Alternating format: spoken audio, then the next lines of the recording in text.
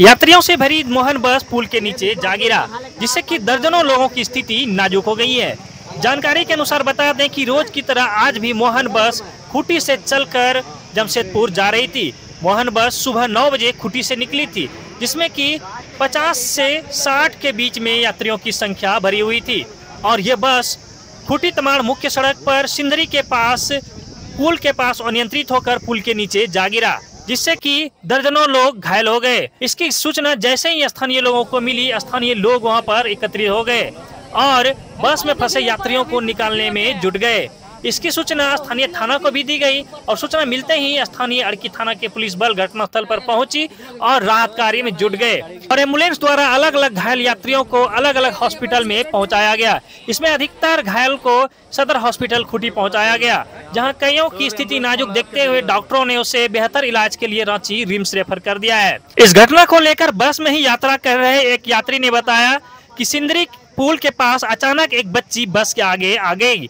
जिससे बचाने को लेकर ड्राइवर ने एक प्रयास किया और इसी दौरान यह घटना घट गई और गाड़ी अनियंत्रित होकर पुल के नीचे जा गिरी। वहीं घायलों के इलाज के लिए सिविल सर्जन डॉक्टर नागेश्वर माझी के नेतृत्व में स्वास्थ्य विभाग की पूरी टीम एक्टिव हो गई और इस दौरान अनुमंडल पदाधिकारी, अनुमंडल पुलिस पदाधिकारी भी सदर हॉस्पिटल पहुँचे, जहाँ उन्होंने पहुंचकर घायलों से उसका हालचाल जाना। इसके साथ ही आपको बता देते हैं कि आज मोहन बस दुर्घटना में जो लोग घायल हुए हैं, उसकी एक सूची हमें मिली है, जिसका नाम इस प्रकार से है, जो मैं आपको बता रहा हूँ। पहला नाम है मोनिका देवी, ये मेराल की रहने वाली है। दूसरा ललिता देवी, ये भी पगरा की रहने वाली है। दीपक तोपनो, ये सोमड़ी का रहने वाला है। उर्मिला देवी, ये मेराल की रहने वाली है। धनंजय गोप, ये अड़की का रहने वाला है। पूजा देवी, ये महादेव टोली का रहने वाला हालाँकि गाँव के साथ पूरा पता हमें नहीं मिल पाया, इसलिए पूरा पता नहीं बता पा रहे हैं। इसके अलावा अगला नाम है आज़म। ये जमशेदपुर का रहने वाला है, तैयब, ये जमशेदपुर का रहने वाला है। रजनी हस्सा, ये जोजो टोली खुटी के रहने वाली है। आराध्या कुमारी, ये मेराल की रहने वाली है। सुजीत मुंडा, ये तिरला का रहने वाला है। गीता देवी, ये बुंडू की रहने वाली है। मगा नाग, ये गुदड़ी का रहने वाला है। बुधनी देवी ये लुगर का रहने वाली है, पंचामहली, ये रुगड़ी का रहने वाला है। फ़िलहाल इन पंद्रह लोगों का नाम हमें मिला है, जो घायलों में शामिल है। घायलों की सूची आगे भी बढ़ सकती है।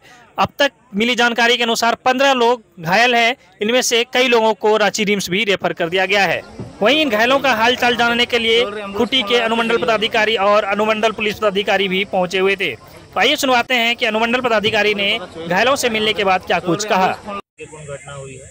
छोटी हमारे ज़िले में सिंदरी के पास एक पुल जो है वहाँ से एक बस एक बच्ची को बचाने के कारण के कारण पुल से नीचे उलट गई थी जिसमें काफ़ी लोग हताहत हुए।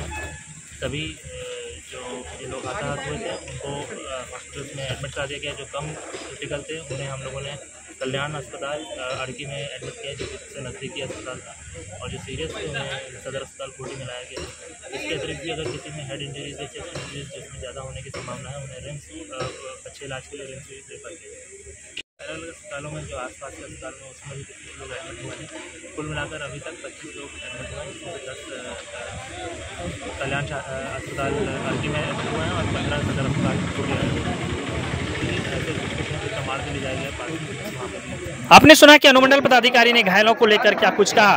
अब आपको सुनवाते हैं कि सिविल सर्जन नागेश्वर माझी ने कुल आंकड़े क्या बताए?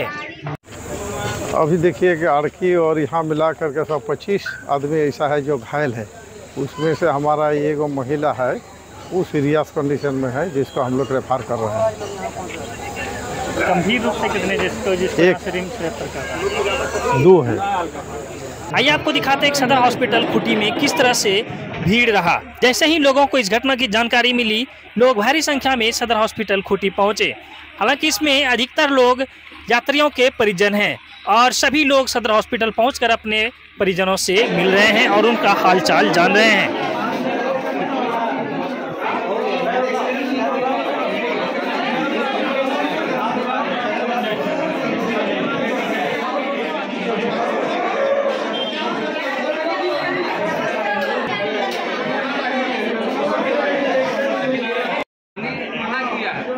पानी देने के लिए मना किया? है तो मना चाय कॉफ़ी तो दे सकते चल चल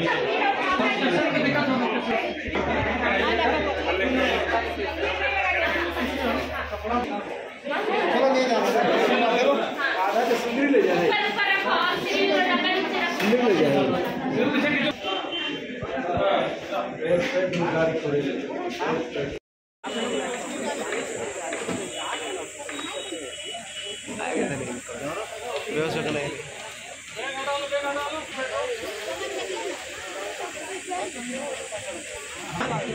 Gracias.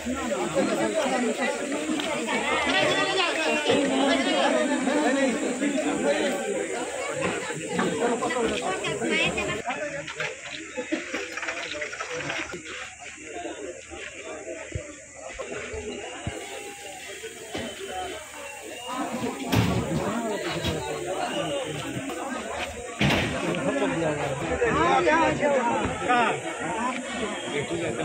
तो नहीं कह रहे है खाइए